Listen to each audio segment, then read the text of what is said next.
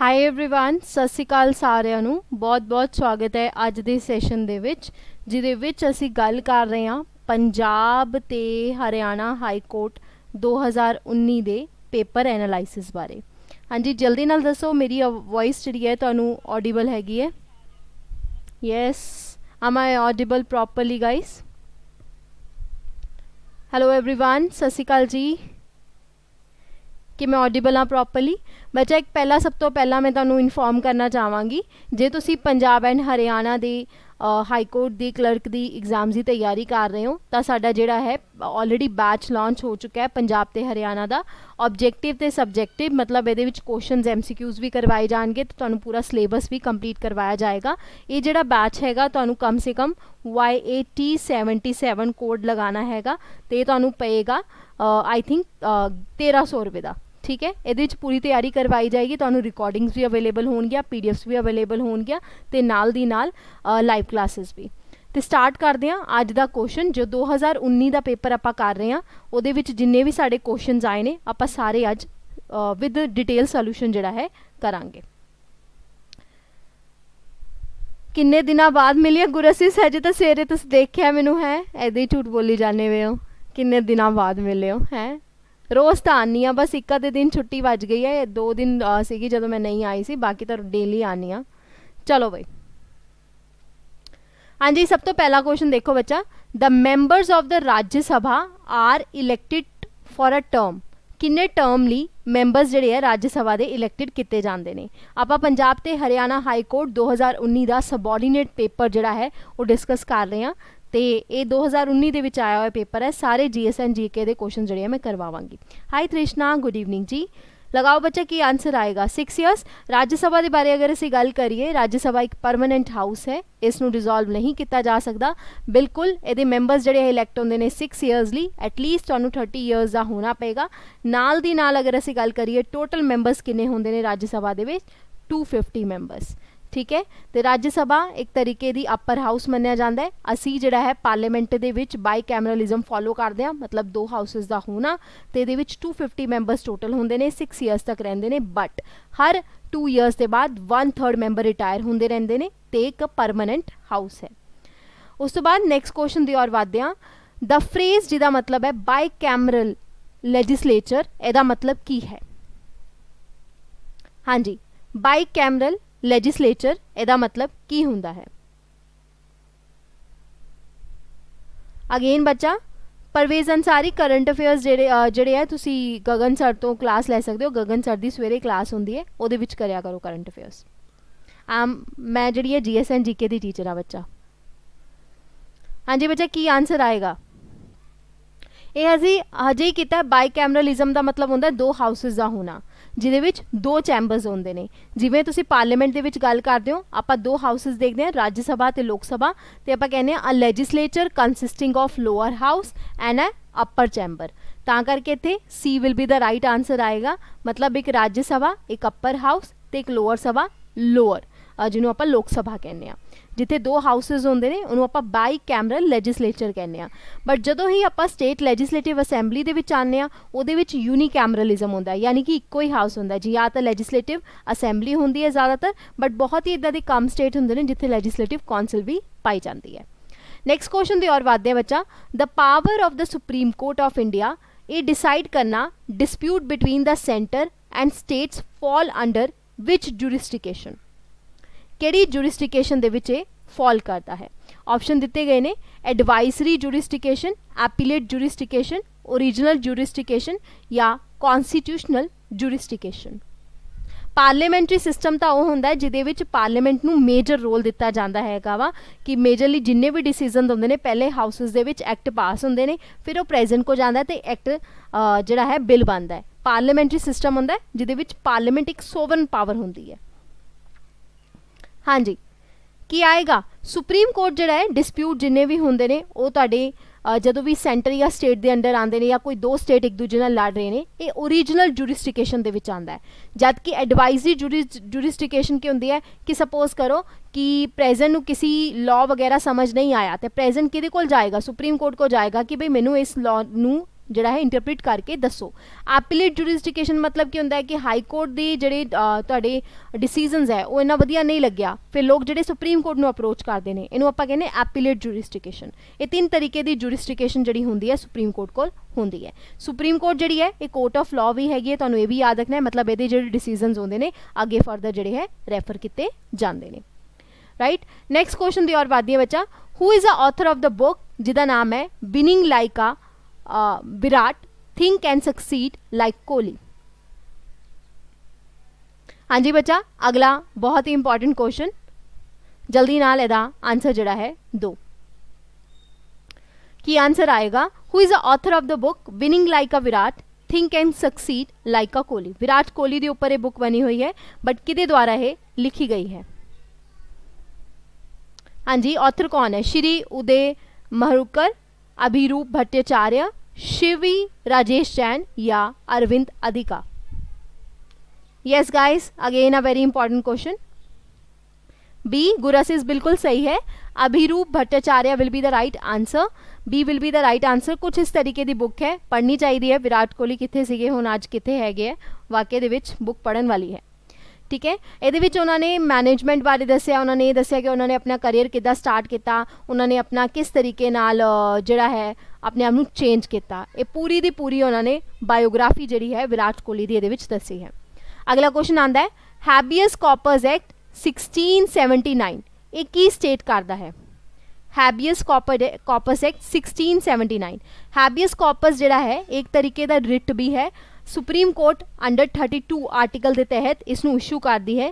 ਅਗਰ ਕੋਈ ਤੁਹਾਨੂੰ ਇਨਲੀਗਲੀ ਡਿਟੇਨ ਕਰ ਲੈਂਦਾ ਹੈ, ਤਾਂ ਇਸ ਨੂੰ ਪਾਰਟਿਕੂਲਰਲੀ ਹੈਬੀਅਸ ਕਾਰਪਸ ਨੂੰ ਰਿਟ ਇਸ਼ੂ ਕੀਤਾ ਜਾਂਦਾ ਹੈ, ਜਿਹਦੇ ਵਿੱਚ ਕੀ ਕਿਹਾ ਜਾਂਦਾ ਹੈ ਕਿ ਜਿਹਨੂੰ ਤੁਸੀਂ ਇਨਲੀਗਲੀ ਡਿਟੇਨ ਕੀਤਾ ਹੈ, ਉਹਨੂੰ ਸਾਡੇ ਸਾਹਮਣੇ ਲੈ ਕੇ ਆਓ ਤੇ ਪ੍ਰੂਵ ਕਰੋ।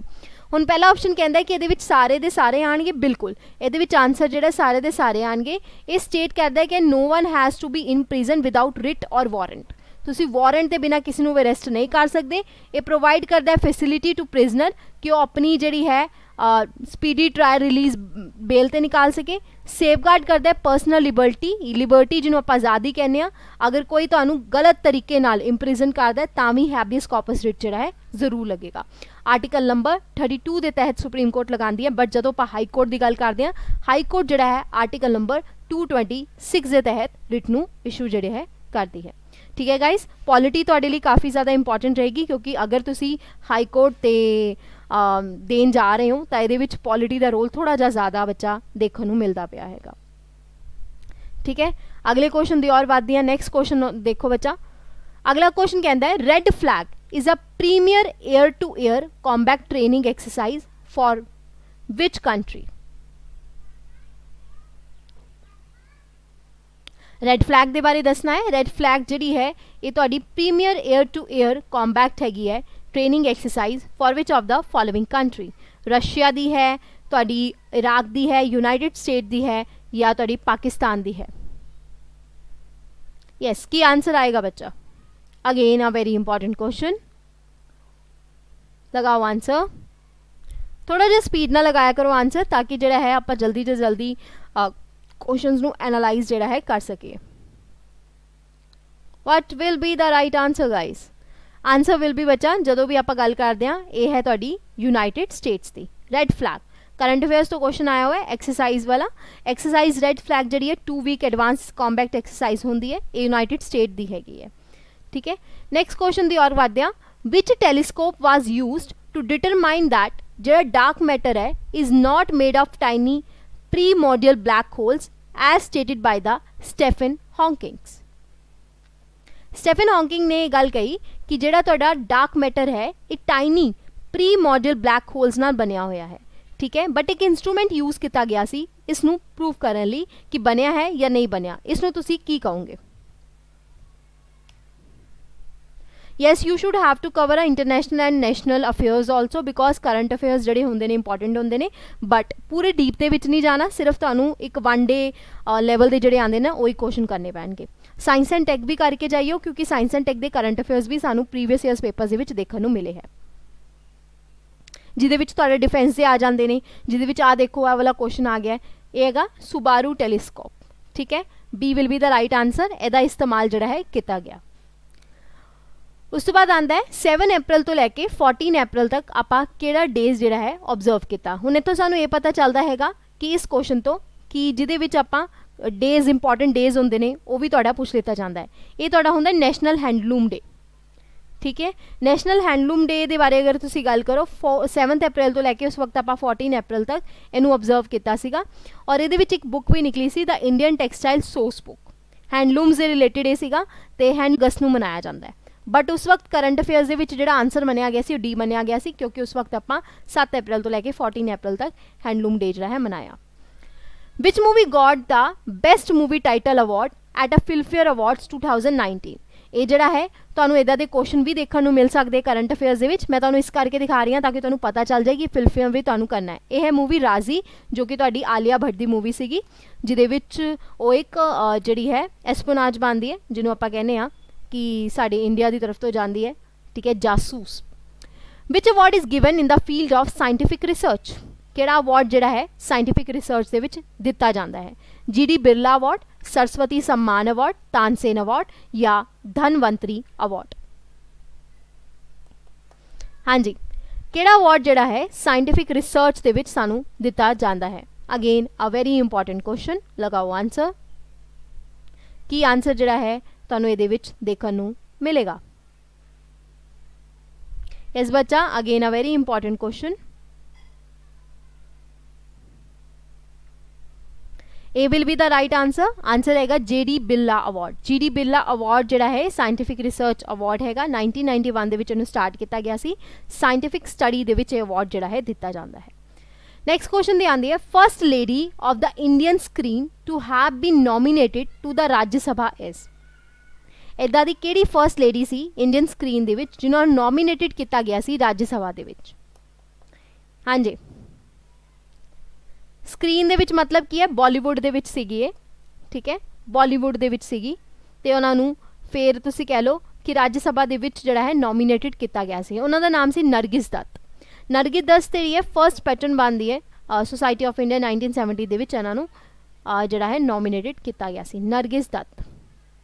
ਬਹੁਤ ਹੀ ਬਿਊਟੀਫੁਲ ਲੇਡੀ ਸੀ ਮਧੂਬਾਲਾ ਵੀ ਮਧੂਬਾਲਾ ਵੀ ਬਹੁਤ ਬਿਊਟੀਫੁਲ ਸੀ ਹੇਅਰ ਇਟ ਇਜ਼ ਤੁਸੀਂ ਦੇਖੀ ਨਹੀਂ ਹੋਣੀ ਪੁਰਾਣੀ ਮੂਵੀਜ਼ ਚ ਆਉਂਦੀ ਹੈ ਅੱਗੇ what is the value of xc Roman number ਦੇ ਵਿੱਚ ਪੁੱਛਿਆ ਗਿਆ ਹੈ ਕਿ ਅਗਰ ਆਪਾਂ xc ਦੇ ਬਾਰੇ ਗੱਲ ਕਰੀਏ ਇਹਦਾ ਨੰਬਰ ਜਿਹੜਾ ਹੈ ਕੀ ਹੋਏਗਾ 100 40 110 ਜਾਂ 90 ਇਹ ਵੀ ਤੁਹਾਡਾ ਹਾਈ ਕੋਰਟ ਦੇ ਵਿੱਚ ਕੁਐਸਚਨ ਪੇਪਰ ਦੇ ਵਿੱਚ ਆਇਆ ਹੋਇਆ ਪੰਜਾਬ ਹਰਿਆਣਾ ਹਾਈ ਕੋਰਟ ਦੀ ਗੱਲ ਅਗਰ ਕੀਤੀ ਜਾਏ। ਹਾਂਜੀ ਗਾਇਸ ਜਲਦੀ ਨਾਲ ਆਨਸਰ ਲਗਾਓ ਕੀ ਆਨਸਰ ਜਿਹੜਾ ਹੈ ਤੁਹਾਨੂੰ ਇਹਦੇ ਵਿੱਚ ਦੇਖਣ ਨੂੰ ਮਿਲੇਗਾ। What will be the right answer? Yes ਬਿਲਕੁਲ। Xc ਜਿਹੜਾ ਰੋਮਨ ਨੰਬਰ ਦੇ ਅੰਦਰ 90 ਹੁੰਦਾ ਹੈ। ਜਿਵੇਂ c x ਅਗਰ ਤੁਸੀਂ ਕਰੋਗੇ xc ਮਤਲਬ c x x ਮਤਲਬ ਹੁੰਦਾ ਤੁਹਾਡਾ ਕਿੰਨਾ? ਇੱਥੇ 100 10 ਠੀਕ ਹੈ? 90 will be the right answer ਅਗਲਾ question who among the following was appointed a new prime minister of France in May 2012 ਬੱਚਾ ਪੇਪਰ ਬਹੁਤ ਪੁਰਾਣਾ ਹੈ ਤਾਂ ਕਰਕੇ ਇਹਨਾਂ ਨੂੰ ਪੁੱਛਿਆ ਗਿਆ ਹੈਗਾ ਤੇ ਆਪਾਂ ਇਹਨੂੰ ਅੱਗੇ ਵਧਦੇ ਹਾਂ ਜੀਨ ਮਾਰਕ ਨੂੰ ਚੂਜ਼ ਕੀਤਾ ਗਿਆ ਸੀ the largest revenue in India obtain from ਤੁਹਾਨੂੰ ਦੱਸਣਾ ਹੈ ਕਿ ਰੈਵਨਿਊ ਦੇ ਬਾਰੇ ਲਾਰਜੈਸਟ ਰੈਵਨਿਊ ਸਾਨੂੰ ਕਿੱਥੋਂ ਮਿਲਦਾ ਹੈ? ਅਗਰ ਤੁਹਾਨੂੰ ਇਦਾਂ ਦਾ ਕੁਐਸਚਨ ਆਵੇ ਕਿ ਜੀਡੀਪੀ ਦੇ ਵਿੱਚ ਲਾਰਜੈਸਟ ਕੰਟਰੀਬਿਊਟਰ ਕਿਹੜਾ ਸੈਕਟਰ ਹੈ, ਤੁਹਾਨੂੰ ਯਾਦ ਰੱਖਣਾ ਸਰਵਿਸ ਸੈਕਟਰ ਹੁਣ ਇਹਦੇ ਵਿੱਚ ਲਾਰਜੈਸਟ ਰੈਵਨਿਊ ਦੇ ਬਾਰੇ ਗੱਲ ਕੀਤੀ ਗਈ ਹੈ, ਤੇ ਇਹਦੇ ਵਿੱਚ ਹੁਣ ਸਾਡੇ ਜਿਹੜੇ ਟੈਕਸਿਸ ਹੈ ਜੀਐਸਟੀ ਆ ਜਾਏਗਾ, ਕਿਉਂਕਿ ਆਪਣਾ ਜੀਐਸਟੀ ਆ ਚੁੱਕਿਆ ਹੈ ਜੀਐਸਟੀ ਰਿਜ਼ਾਈਮ ਆ ਚੁੱਕਾ ਹੈ। ਜੀਐਸਟੀ ਨੇ ਪਿਛਲੀ ਵਾਰ, ਇਸ ਵਾਰ ਬਹੁਤ ਜ਼ਿਆਦਾ ਕਲੈਕਸ਼ਨ ਜਿਹੜੀ ਹੈ ਰੈਵਨਿਊ ਦੀ ਆਪਾਂ ਆਬਟੇਨ ਕੀਤੀ ਹੈ। ਵੈਸੇ ਤਾਂ ਜ਼ਿਆਦਾ ਸਰਕਾਰ ਨੂੰ ਡਾਇਰੈਕਟ ਟੈਕਸਿਸ ਤੋਂ ਵੀ ਮਿਲ ਜਾਂਦਾ ਪਰ ਜੀਐਸਟੀ ਇਸ ਵਾਰ ਜ਼ਿਆਦਾ ਰਹੀ ਹੈ। ਕਿਉਂਕਿ ਆਪਾਂ ਅਮੈਂਡਮੈਂਟ ਬਿੱਲ ਲੈ ਕੇ ਆ ਗਏ ਆ when goods and services produce within a country GST ਜਿਹੜਾ ਹੈ ਲੀਵਡ ਹੁੰਦਾ ਤੇ ਜੀਐਸਟੀ ਜਿਹੜਾ ਹੈ ਤੁਹਾਡਾ ਆਨਸਰ ਆਏਗਾ ਨਾਟ ਅ ਰੇਲਵੇ ਬੱਚਾ ਰੈਵਨਿਊ ਜਿਹੜਾ ਹੈ ਗਵਰਨਮੈਂਟ ਆਫ ਇੰਡੀਆ ਨੂੰ ਜੀਐਸਟੀ ਤੋਂ ਆਉਂਦਾ ਹੈ ਅਗਲਾ question NABARD is a board है बैंक है ब्यूरो है या नन ऑफ दिस नबार्ड की है What do you mean by NABARD NABARD ਇੱਕ ਤਰੀਕੇ ਦਾ ਬੋਰਡ ਹੈ ਬੈਂਕ ਹੈ ਬਿਊਰੋ ਹੈ ਜਾਂ ਨਨ ਆਫ ਥੀਸ ਨਵਾਰਡ ਦੇ ਬਾਰੇ ਅਗਰ ਅਸੀਂ ਗੱਲ ਕਰੀਏ national bank for agriculture and rural development ਹੈ ਇੱਕ ਤਰੀਕੇ ਦਾ ਬੋਰਡ ਹੈ ਵਾਈਟ ਕਰਨ ਲਈ ਯੈਸ ਨੈਕਸਟ ਕੁਐਸਚਨ ਦੇ ਔਰ ਵਾਦਦੇ ਆ ਇੰਡੀਆ ਦੀ ਫਰਸਟ ਬੁੱਕ ਬੈਂਕ ਤੁਹਾਨੂੰ ਦੱਸਣੀ ਹੈ has been establish at sorry first food bank ਠੀਕ ਹੈ ਬੁੱਕ ਨਿਕਲ ਗਿਆ ਕਿਉਂਕਿ ਹਜੇ ਬੁੱਕ ਪੜ੍ਹ ਰਹੇ ਸੀ ਫਰਸਟ ਬੱਚਾ ਫੂਡ ਬੈਂਕ ਕੋਈ ਗੱਲ ਨਹੀਂ ਹਲਕਾ ਜਿਹਾ ਹੀ ਹੋਇਆ ਹੈ ਸਹੀ ਹੈ ਬਾਕੀ। ਹਾਂਜੀ ਬੱਚਾ ਫਰਸਟ ਫੂਡ ਬੈਂਕ ਦੇ ਬਾਰੇ ਤੁਸੀਂ ਦੱਸਣਾ ਹੈ। ਇਹ ਤੁਹਾਡਾ ਕਿੱਥੇ ਇਸਟੈਬਲਿਸ਼ ਹੋਇਆ ਹੈ। Yes, again a very important question C will be the right answer? New Delhi ਦੇ ਵਿੱਚ ਹੋਇਆ ਹੈ ਬੱਚਾ। ਵਿਦ ਆਬਜੈਕਟਿਵ ਆਫ ਇੰਡੀਆ ਨੂੰ ਹੰਗਰ ਫ੍ਰੀ ਬਣਾਉਣ ਲਈ 2020 ਦੇ ਵਿੱਚ ਸੈਂਟਰ ਨੇ ਅਨਾਉਂਸ ਕੀਤਾ ਸੀਗਾ ਕਿ 8 ਜੂਨ 2012 ਦੇ ਵਿੱਚ ਜਿਹੜੀ ਫਰਸਟ ਫੂਡ ਬੈਂਕ ਜਿਹੜਾ ਨਿਊ ਦਿੱਲੀ ਦੇ ਵਿੱਚ ਹੋਏਗਾ। ਠੀਕ ਹੈ ਨਿਊ ਦਿੱਲੀ ਦੇ ਵਿੱਚ ਇਹਨੂੰ ਓਪਨ ਕੀਤਾ ਗਿਆ ਹੈ।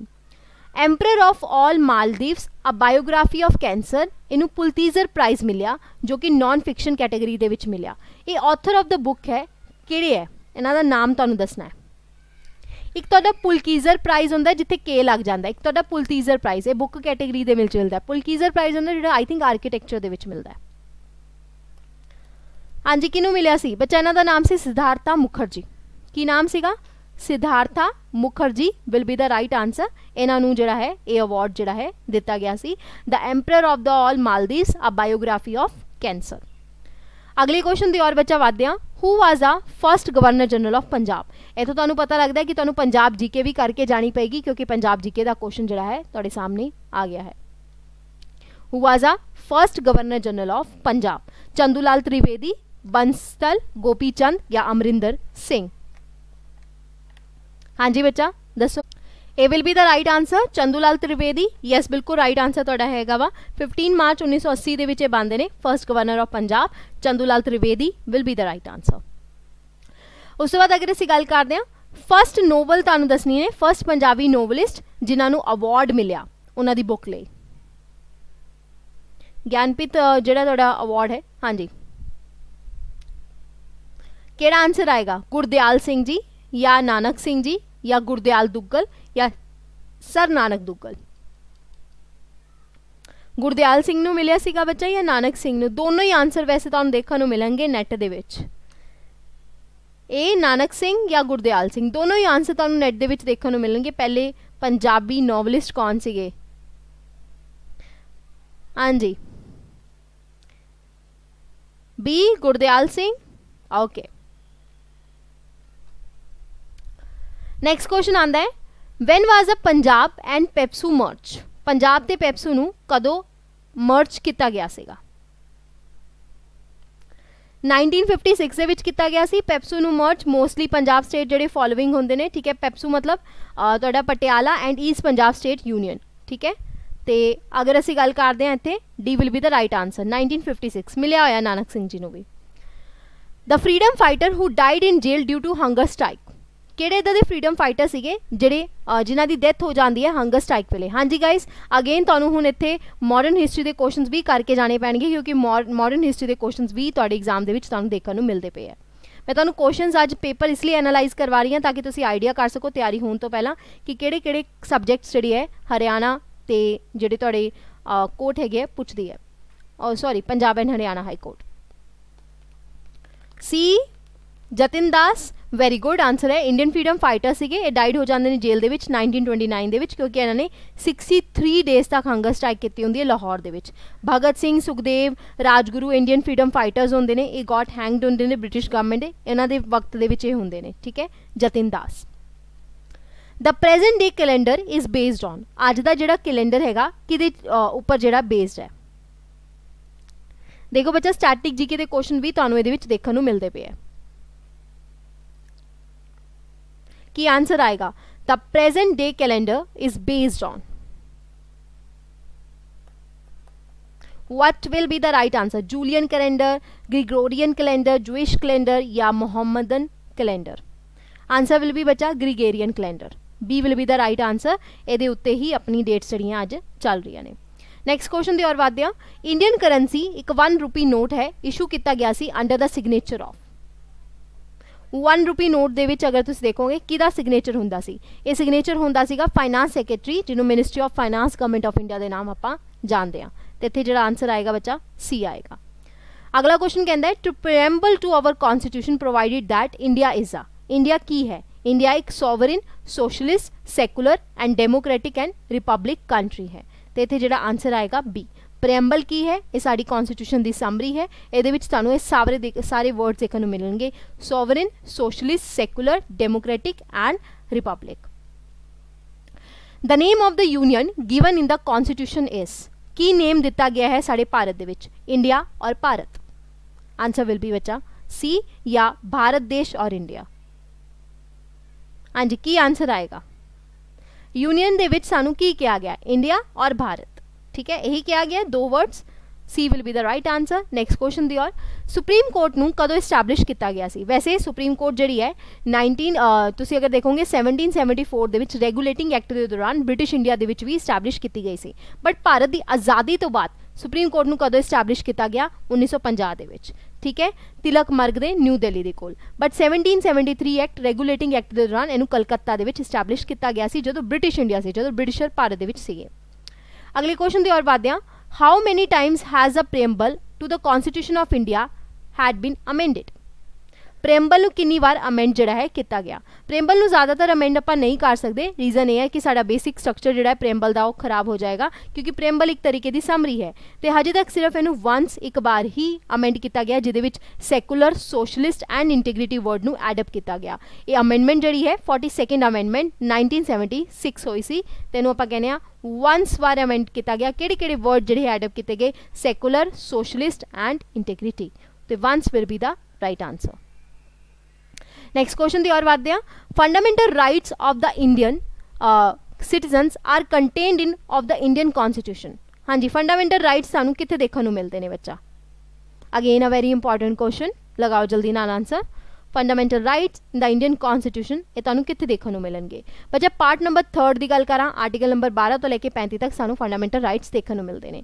ਇਹਨਾਂ ਪੇਪਰਾਂ ਦਾ ਐਨਾਲਾਈਜੇਸ਼ਨ ਕਰਕੇ ਇਹ ਗੱਲ ਪਤਾ ਲੱਗਦੀ ਹੈ ਕਿ ਪੰਜਾਬ ਤੇ ਹਰਿਆਣਾ ਦਾ ਪੇਪਰ ਇੰਨਾ ਵੀ ਡਿਫਿਕਲਟ ਨਹੀਂ ਹੈਗਾ। ਤੁਸੀਂ ਆਰਾਮ ਨਾਲ ਇਹ ਹਾਈ ਕੋਰਟ ਦੇ ਜਿਹੜੇ ਜਿਹੜੇ ਵੀ ਤੁਹਾਡੇ ਕਲਰਕ ਲੈਵਲ ਦਾ ਐਗਜ਼ਾਮ ਹੈਗਾ, ਤੁਸੀਂ ਕਲੀਅਰ ਕਰ ਸਕਦੇ ਹੋ। ਬਟ ਤੁਹਾਨੂੰ ਇੱਕ ਗੱਲ ਦਾ ਧਿਆਨ ਰੱਖਣਾ ਹੈ ਕਿ ਜਿਹੜੀ ਨੋਟੀਫਿਕੇਸ਼ਨ ਦੇ ਵਿੱਚ ਅਗਰ ਆਪਾਂ ਨੋਟੀਫਿਕੇਸ਼ਨ ਨੂੰ ਓਪਨ ਕਰਦੇ ਹਾਂ, ਠੀਕ ਹੈ, ਇਸ ਨੋਟੀਫਿਕੇਸ਼ਨ ਨੂੰ ਤੁਸੀਂ ਧਿਆਨ ਨਾਲ ਪੜ੍ਹਦੇ ਹੋ ਕਿ high court of Punjab and Haryana at Chandigarh Chandigarh, ਇਹਦੀ ਜਿਹੜੀਆਂ ਪੋਸਟ ਹੈਗੀਆਂ ਨੇ, ਉਹ ਇੱਕ ਤਾਂ ਘੱਟ ਨੇ। ਦੂਜੀ ਗੱਲ ਇਹ ਹੈਗੀ, ਜ਼ਿਆਦਾ ਮਤਲਬ ਤੁਹਾਡੇ ਹਿਸਾਬ ਨਾਲ ਬਹੁਤ ਵਧੀਆ ਨੇ, ਤੁਹਾਨੂੰ ਤਾਂ ਸਿਰਫ ਇੱਕੋ ਹੀ ਚਾਹੀਦੀਆਂ ਨੇ। ਤੀਜੀ ਗੱਲ ਇਹ ਹੈਗੀ ਹੈ ਕਿ ਇਹਦਾ ਜਿਹੜਾ ਪੇਪਰ ਹੈ, ਅਕਤੂਬਰ ਤੇ ਨਵੰਬਰ ਦੇ ਵਿੱਚ ਹੋ ਜਾਏਗਾ। ਤੇ ਇਹ ਜਿਹੜਾ ਤੁਹਾਡਾ ਟਾਈਮ ਪੀਰੀਅਡ ਹੈ ਥੋੜਾ ਜਿਹਾ ਘੱਟ ਹੈਗਾ, ਕਿਉਂਕਿ ਤੁਹਾਡੇ ਕੋਲ ਅਗਸਤ ਦਾ ਚੱਲ ਗਿਆ ਸੈਪਟੈਂਬਰ ਯਾਨੀ ਕਿ 1 ਡੇਢ ਮਹੀਨਾ ਹੀ ਹੈਗਾ। ਅਗਰ ਤੁਸੀਂ 1 ਡੇਢ ਮਹੀਨੇ ਦੇ ਵਿੱਚ ਤਿਆਰੀ ਕਰਨੀ ਹੈ, ਤਾਂ ਤੁਸੀਂ ਬਿਲਕੁਲ ਵੀ ਤੁਹਾਡੀ ਜੀਐਸ ਵਗੈਰਾ ਨਹੀਂ ਹੈਗੀ ਤਾਂ ਹੋ ਸਕਦਾ ਤੁਸੀਂ ਇਹਦੇ ਵਿੱਚ ਲੈਕ ਕਰ ਜਾਓ। ਰੀਜ਼ਨ ਕੀ ਹੈ ਕਿ ਬੱਚਾ ਇਹਦੇ ਵਿੱਚ ਜਿਹੜੀ ਜੀਐਸ ਹੈਗੀ ਆ ਉਹ ਕਮ ਸੇ ਕਮ 70 ਮਾਰਕਸ ਦੀ ਹੈਗੀ ਹੈ ਤੇ 30 ਮਾਰਕਸ ਦੀ ਇੰਗਲਿਸ਼ ਹੈ। ਇੰਗਲਿਸ਼ ਨੂੰ ਵੀ ਤਿਆਰ ਕਰਨਾ ਪਏਗਾ ਸਿਨੋਨਿਮ ਐਂਟੋਨਿਮਸ ਤੁਹਾਡੇ ਵਨ ਵਰਡ ਸਬਸਟੀਟਿਊਸ਼ਨਸ ਤੁਸੀਂ ਕਹ ਲੋ ਇਡੀਅਮਸ ਐਂਡ ਫਰੇਜ਼ਸ ਉੱਪਰੋਂ ਜੀਐਸ ਵੀ। ਤੇ ਇੱਕ ਮਹੀਨਾ ਜਿਹੜਾ ਹੈ ਤੁਹਾਡੇ ਕੋਲ ਹੈਗਾ ਤਿਆਰੀ ਕਰਨ ਦਾ, ਬਾਕੀ ਮੈਂ ਅੱਧਾ ਮਹੀਨਾ ਮੰਨਾਂਗੀ ਕਿ ਤੁਸੀਂ ਇਹਦੇ ਵਿੱਚ ਪ੍ਰੈਕਟਿਸ ਕਰੋ। ਤੇ ਅਗਰ ਤੁਹਾਨੂੰ ਇਦਾਂ ਲੱਗਦਾ ਹੈਗਾ ਕਿ ਤੁਸੀਂ ਆਪਣੇ ਆਪ ਪ੍ਰੈਕਟਿਸ ਨਹੀਂ ਕਰ ਸਕਦੇ, ਤੁਹਾਡੇ ਮਾਈਂਡ ਦੇ ਵਿੱਚ ਇਹ ਆਂਦਾ ਹੈ ਕਿ ਨਹੀਂ ਯਾਰ, ਮੇਰੇ ਤੋਂ ਨਹੀਂ ਹੋਗਾ ਇੰਨਾ ਜ਼ਿਆਦਾ ਜਿਹੜਾ ਹੈ ਬਟ ਤੁਸੀਂ ਪੇਪਰ ਕਲੀਅਰ ਕਰਨਾ ਚਾਹੁੰਦੇ ਹੋ, ਤਾਂ ਤੁਸੀਂ ਸਾਡੇ ਇੱਕ ਬੈਚ ਦੇ ਵਿੱਚ ਇਨਰੋਲ ਕਰਵਾ ਸਕਦੇ ਹੋ। ਬੱਚਾ, ਇੱਕ ਬੈਚ ਹੈਗਾ ਜਿਹੜਾ ਸਾਡਾ ਹੈਗਾ ਆਬਜੈਕਟਿਵ ਵਾਲਾ। ਆਬਜੈਕਟਿਵ ਬੈਚ ਦਾ ਮਤਲਬ ਕੀ ਹੁੰਦਾ ਹੈ ਕਿ ਜਿਹਦੇ ਵਿੱਚ ਸਿਰਫ ਤੁਹਾਨੂੰ ਐਮਸੀਕਿਊਜ਼ ਕਰਵਾਏ ਜਾਣਗੇ। ਬਟ ਇੱਕ ਇੱਕ ਬੈਚ ਹੈਗਾ ਜਿਹਨੂੰ ਮੈਂ ਕਹਿੰਦੀ ਹਾਂ ਪੰਜਾਬ ਐਂਡ ਹਰਿਆਣਾ ਆਬਜੈਕਟਿਵ ਤੇ ਤੁਹਾਡਾ ਸਬਜੈਕਟਿਵ ਜਿਹਦੇ ਵਿੱਚ ਤੁਹਾਡੇ ਸਬਜੈਕਟਿਵ ਵੀ ਕਰਵਾਏ ਜਾਣਗੇ ਤੇ ਆਬਜੈਕਟਿਵ ਵੀ ਕਰਵਾਏ ਜਾਣਗੇ। ਇਹ ਜਿਹੜਾ ਬੱਚਾ ਬੈਚ ਹੈਗਾ, ਇਹ ਤੁਹਾਨੂੰ ਕਮ ਸੇ ਕਮ ਪੈਂਦਾ ਹੈਗਾ ਵਾ 5999 ਦਾ। ਬਟ ਇਹਦੇ ਲਈ ਤੁਹਾਨੂੰ ਡਿਸਕਾਊਂਟ ਮਿਲ ਜਾਏਗਾ। ਅਗਰ ਤੁਸੀਂ ਐਪ ਦੇ ਵਿੱਚ ਜਾਂਦੇ ਹੋ ਜਾਂ ਵੈਬਸਾਈਟ ਦੇ ਵਿੱਚ ਜਾਂਦੇ ਹੋ, ਤੁਸੀਂ YAT77 ਅਪਲਾਈ ਕਰਦੇ ਹੋ YAT77 ਤਾਂ ਤੁਹਾਨੂੰ 1379 ਦਾ ਪੈ ਜਾਏਗਾ। ਅਗਰ ਤੁਸੀਂ ਕੋਈ ਕੰਮ ਕਰ ਰਹੇ ਹੋ, ਤੁਸੀਂ ਪੰਜਾਬ ਤੇ ਹਰਿਆਣਾ ਦਾ ਦੇਣਾ ਚਾਹੁੰਦੇ ਹੋ, ਕੋਈ ਕੰਮ ਵਗੈਰਾ ਕਰ ਰਹੇ ਹੋ, ਤੁਸੀਂ ਨਹੀਂ ਦੇਖ ਸਕਦੇ, ਤਾਂ ਰਿਕਾਰਡਿੰਗ ਵੀ ਇਹਦੇ ਵਿੱਚ ਅਵੇਲੇਬਲ ਹੁੰਦੀ ਹੈ। 6 ਮੰਥਸ ਲਈ ਦਿੱਤਾ ਜਾ ਰਿਹਾ ਹੈ। ਸਪੋਜ਼ ਕਰੋ ਬੱਚਾ ਕਿ ਤੁਸੀਂ ਹੋਰ ਵੀ ਬਹੁਤ ਸਾਰੇ ਐਗਜ਼ਾਮ ਦੀ ਤਿਆਰੀ ਕਰ ਰਹੇ ਹੋ ਪੀ ਟ੍ਰਿਪਲ ਐਸਬੀ ਦੀ, ਜਾਂ ਬਹੁਤ ਸਾਰੇ ਹੋਰ ਵੀ ਐਗਜ਼ਾਮਸ ਹੈ। ਸਾਡੇ ਕੋਲ ਸਾਰੇ ਕੋਰਸਿਸ ਪੰਜਾਬ ਦੇ ਆਉਣ ਵਾਲੇ ਜਿੰਨੇ ਵੀ ਐਗਜ਼ਾਮਸ ਹੋ ਰਹੇ ਨੇ, ਸਾਰਿਆਂ ਦੇ ਕੋਰਸਿਸ ਟੈਸਟ ਸੀਰੀਜ਼ ਸਭ ਕੁਝ ਅਵੇਲੇਬਲ ਹੈ। ਬਟ ਇਹਦੇ ਲਈ ਤੁਹਾਨੂੰ ਪੰਜਾਬ ਦੇ ਮਹਾਪੈਕ ਦੀ ਔਰ ਇਨਰੋਲ ਕਰਵਾਉਣਾ ਪਏਗਾ। ਇਹ ਪੰਜਾਬ ਦਾ ਮਹਾਪੈਕ ਜਿਹੜਾ ਹੈਗਾ, ਤੁਹਾਨੂੰ 3200 ਰੁਪਏ ਦਾ ਪਏਗਾ। ਜਿਹਦੇ ਵਿੱਚ ਤੁਹਾਨੂੰ ਸਾਰੇ ਕੋਰਸਿਸ ਤੇ ਜਿੰਨੇ ਵੀ ਤੁਹਾਡੇ ਆਉਣ ਵਾਲੇ ਕੋਰਸਿਸ ਹੋਣਗੇ, ਉਹ ਵੀ ਹੋਣਗੇ। ਹੁਣ ਪੰਜਾਬ ਦੇ ਮਹਾਪੈਕ ਦੇ ਵਿੱਚ ਇੱਕ ਹੋਰ ਬਹੁਤ ਅੱਜ ਫੈਸਿਲਿਟੀ ਹੈਗੀ, ਤੁਹਾਨੂੰ ਡਬਲ ਵੈਲਿਡਿਟੀ ਦਾ ਆਫਰ ਮਿਲ ਰਿਹਾ। ਡਬਲ ਵੈਲਿਡਿਟੀ ਦਾ ਮਤਲਬ ਕੀ ਹੁੰਦਾ ਹੈ ਕਿ ਜਿਹਦੇ ਵਿੱਚ ਮੈਨੂੰ 2 ਸਾਲ ਲਈ ਇਹ ਪੰਜਾਬ ਦਾ ਮਹਾਪੈਕ ਮਿਲੇਗਾ। 2 ਸਾਲ ਦੇ ਵਿੱਚ ਜਿੰਨੇ ਵੀ ਕੋਰਸਿਸ ਆਣਗੇ ਉਹ ਸਾਰੇ ਦੇ ਸਾਰੇ ਤੁਹਾਨੂੰ ਮਿਲਣਗੇ। ਉਹਦੇ ਡਿਸਕਾਊਂਟ ਲੈਣ ਲਈ you can use the code YAT77 ਠੀਕ ਹੈ? ਆਈ ਹੋਪ ਤੁਹਾਨੂੰ ਅੱਜ ਦਾ ਲੈਕਚਰ ਜਿਹੜਾ ਹੈ ਵਧੀਆ ਲੱਗਿਆ। ਮੇਰਾ ਇੱਕ ਹੋਰ ਲੈਕਚਰ ਹੋਇਆ ਜਿਹਨੂੰ ਮੈਂ ਦੱਸਿਆ ਕਿ ਪੰਜਾਬ ਤੇ ਹਰਿਆਣਾ ਦੀ ਤੁਸੀਂ ਜੀਕੇ ਜੀਕੇ ਐਨਾਲਾਈਸਿਸ ਜਿਹੜੇ ਕਿਦਾਂ ਪ੍ਰਿਪੇਅਰ ਕਰ ਸਕਦੇ ਹੋ। ਤੇ ਅੱਜ ਦਾ ਸੈਸ਼ਨ ਇੰਨਾ ਹੀ ਸੀਗਾ। ਅਗਲੇ ਵਿੱਚ ਮੈਂ ਇੱਕ ਹੋਰ ਪੇਪਰ ਲੈ ਕੇ ਆਵਾਂਗੀ। ਦੋ ਤਿੰਨ ਪੇਪਰਸ ਜਿਹੜੇ ਆ, ਸਾਡੇ ਕੋਲ ਸਾਰੇ ਪੇਪਰਸ ਪਏ ਆ। ਮੈਂ ਸਾਰੇ ਪੇਪਰਸ ਤੁਹਾਡੇ ਲਈ ਐਨਾਲਾਈਜ਼ ਕਰਾਂਗੀ, ਜਿਹਦੇ ਵਿੱਚ ਆਪਾਂ ਸਾਰੇ ਕੁਐਸਚਨਸ ਜਿਹੜੇ ਆ ਕਰਾਂਗੇ। ਠੀਕ ਹੈ? Thank you very much